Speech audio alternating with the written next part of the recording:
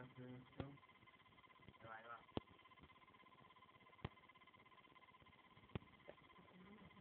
Bueno. No puedo explicar nada, me, me,